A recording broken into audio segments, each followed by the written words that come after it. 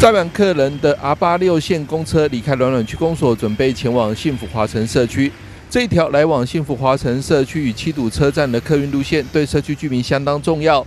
当地定祥里里长冯瑞芝因此在暖暖区基层访视座谈会上提案，希望 R 八六能增班。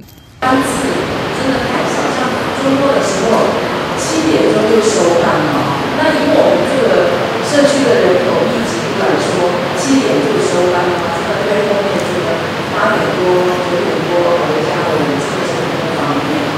对此，基隆市长刘昌透露阿八六亏损严重，目前由基隆市公车资源部分班次勉强支撑住，因此市公车推行上下车刷卡，希望统计出民众在尖峰、离峰时间的搭乘资讯，做更有效的路线规划与排班依据。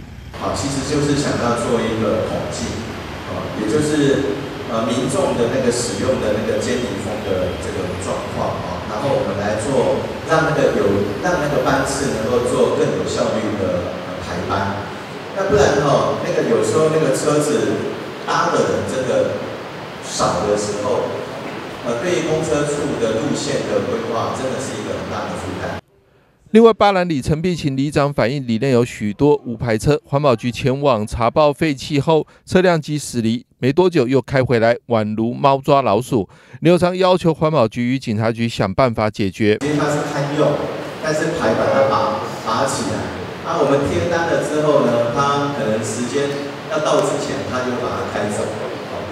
这个这个也许请环保局跟警察局再想一下。我们再回去研议一下，针对这种状态，啊，我们有没有进一步处置的一种呃做法？好，不然这就变成是有点钻漏洞。过港里长陈新慈则感谢牛长推动过港路道路品质环境改善。不过，原停车格被涂销后，造成停车位严重不足，建议市府以旧废弃自来水宿舍拆除活化空间为停车使用。过港那边都是没有在使用，已经破破烂烂。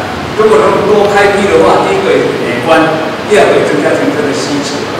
哦，我希望说我们在马路在做的时候，最少要一起把这个停车场的位置能够弄停车位置能弄出来，有改善了马路会产生一个停车的问题。林耀昌也透露一项好消息：暖暖衔接瑞芳的金融河畔自行车道，预计九月中旬完工启用，将提供民众更完善的骑乘环境。记者张启腾，金融报道。